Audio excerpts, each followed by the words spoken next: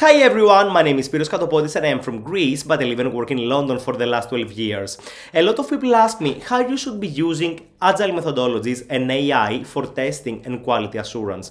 And though there are several answers to that questions, there are many advantages to test automation and to giving your human testers the AI tools to assist with testing and QA. This is what I'm planning to share with all of you and I'm really looking forward to be part of this year's conference. Bye!